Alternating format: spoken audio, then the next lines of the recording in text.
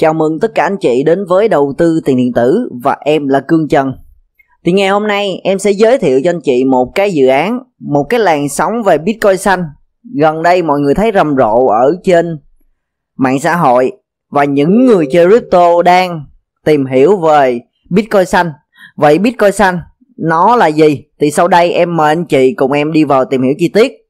Và cũng như thường lệ, nếu anh chị nhận được giá trị ở video này thì nhấn like và subscribe để ủng hộ kênh.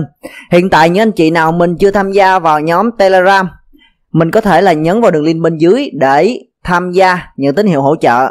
Khi mà anh chị đăng ký vào Telegram xong rồi thì anh chị nhấn vào đường link em có ghi ở trên đây để tham gia vào nhóm nhận tín hiệu hỗ trợ. Những anh chị nào mình là người mới, mình hãy chịu khó học cái khóa học cho dành cho người mới miễn phí của em. Thì đây mọi người nhấn vào đầu tư tiền tử và nhấn vào danh sách phát để nhấn vào cái khóa học cơ bản dành cho người mới. Thì cái khóa học này những cái đội nhóm khác nó bán với giá trị vài triệu bạc á.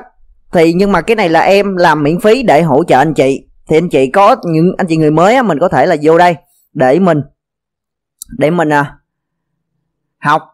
Rồi những anh chị nào mình chưa đăng ký sàn Binance và sàn Huobi quốc tế, mình có thể nhấn vào đường link bên dưới để đăng ký ủng hộ kênh.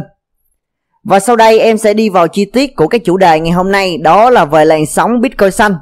Thì cái mạng lưới của Chia thì nó được tạo ra từ năm 2017.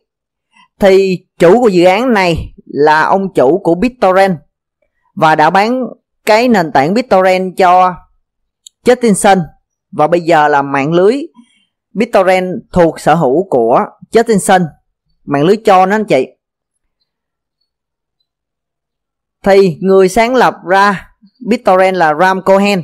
Thì cái dự án này, ông ấy đã phát triển vào năm 2017 và tới thì thời điểm này đã ra mainnet.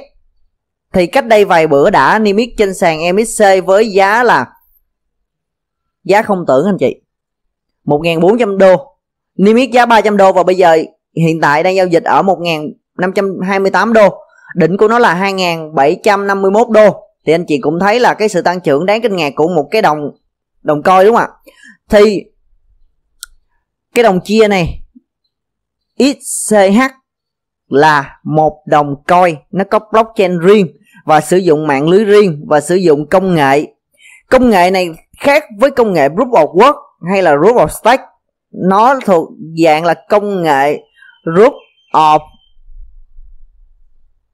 S-Time Proof of S-Time BOST thì là Proof of Time á, là là nó sử dụng là bằng chứng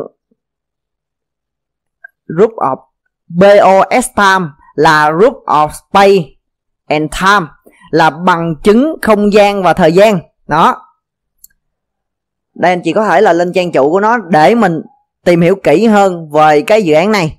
Thì từ sáng giờ em em ngồi em đọc tài liệu khoảng 4 tiếng đồng hồ, thì có thể những cái phần em tìm hiểu chưa rõ lắm, chưa kỹ lắm về cái đồng chia này. Thì những anh chị nào mình đã đọc qua rồi và có những cái điểm sai sót thì mong anh chị thông cảm. Thì cái chia network này là phát triển giao dịch thông minh và blockchain được tạo ra bởi người phát minh BitTorrent là Ram Cohen nó triển khai thuật toán đồng thuận giống như là của Nakamoto mới bắt đầu kể về Bitcoin năm 2008 thì bằng chứng về không gian và thời gian, thay thế cái bằng chứng công việc, thì nó sẽ tiêu tốn ít năng lượng hơn. Thì tất cả mọi người cũng hiểu là đối với Bitcoin là mọi người phải sử dụng là, sử dụng là bằng chứng công việc là proof of work. Nhưng mà đối với cái thằng chia network này á, nó sử dụng bằng chứng công việc là BOS T đó là bằng chứng không gian và thời gian. Thì nó chỉ tiêu hao là phần cứng thôi. Còn đối với rút vòng quốc thì nó sẽ sử dụng cạc VAG á, thì nó sẽ tốn tiêu tốn điện năng rất là nhiều. Đó thì cái dự án này nó đã đã có mainnet rồi. Và được nhiều rất được nhiều bên uh, báo uy tín đưa tin đánh giá thì đây, giống như là trang à, Asian Crypto đây, thì cũng chia sẻ về cái mạng lưới của chia. Thì nó đánh giá cũng rất là chi tiết, thì mọi người có thể là lên những cái trang này mọi người đọc. Giống như là lý lịch của Ram Cohen, người sáng lập ban đầu của BitTorrent. Giao thức chia sẻ ngang hàng được John mua lại. Đây là bằng chứng thấy là anh là một nhà tiên phong bẩm sinh trong các kỹ năng lập trình, mang lại ý tưởng vào cuộc sống thì vào mùa hè năm 2017 Ram đã rời BitTorrent sau 16 năm ở đó, ở đấy ở đó để thành lập, mà nay là mọi người biết tới là Chia Network. Ông đã xây dựng một đội ngũ giàu kinh nghiệm, bao gồm cựu giám đốc điều hành Gen Hoffman tại Chia cùng nhau, và họ làm việc tạo ra một môi trường xanh hơn trong không gian tiền điện tử. Rồi Chia Network là gì? Chia là một mạng lưới tiền điện tử được tạo ra để cung cấp một giao thức blockchain bền vững hơn cho các hệ thống tài chính và thanh toán toàn cầu được cải thiện. Cùng với một loạt giao dịch thông minh, cải thiện cách chúng ta tương tác với tài chính. Rồi công ty được đặt theo tên của nhà máy xanh để phản ảnh việc mong muốn của họ trong việc tạo ra một mạng lưới tiền điện tử thân thiện với môi trường trong hành trình tạo ra một loại tiền điện tử bền vững các nhà phát triển đã nhận ra cơ chế đồng thuận rút of Quốc không hiệu quả và tiêu tốn nhiều điện năng thúc đẩy nhu cầu tạo ra một cơ chế mới một cơ chế vừa an toàn vừa hiệu quả. Cơ chế đó gọi là cơ chế group of, group of space and time đó là bằng chứng không gian và thời gian. Thì bằng chứng không gian và thời gian là một thủ tục mật mã tiên phong trong đó người khai thác chỉ cần bằng chứng rằng họ đã phân bổ một lượng không gian để cụ thể sử dụng cho mạng lưới. Trong trường hợp của chia, người khai thác được gọi là nông dân và thêm phép tương tự xanh đã được thiết lập.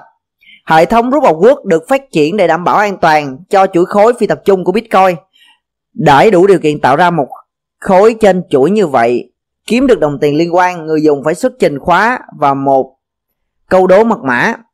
Thì như mọi người biết là đối với bitcoin, nó sử dụng bằng chứng công việc thì cứ 10 phút là một block.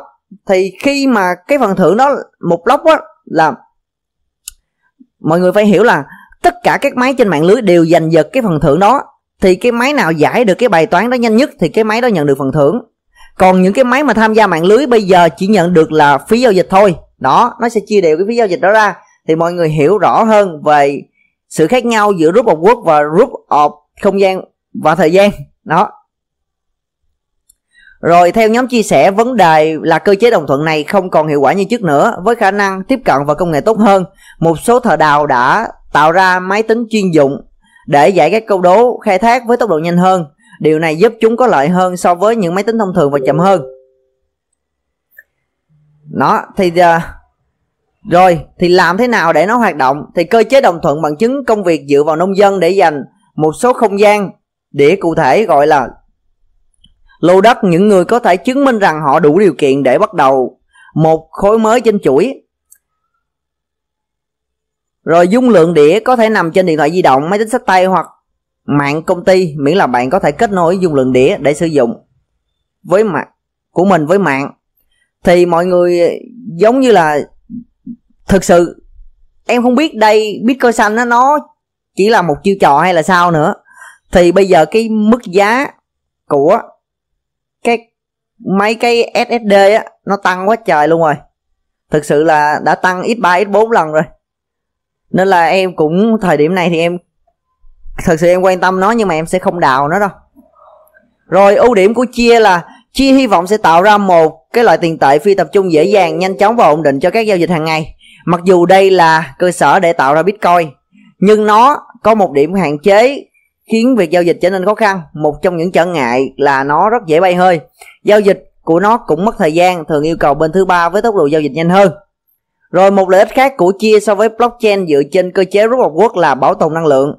Thật ngu ngốc khi mà cải thiện sự tương tác tài chính trong xã hội để làm tổn hại đến môi trường của chúng ta.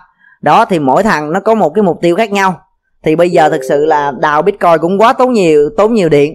Thì nên là có thể một cái làn sóng về bitcoin xanh này nó sẽ phát triển. Nhưng mà bây giờ thực sự là không phải là thời điểm để em đầu tư với cái đồng chia token này.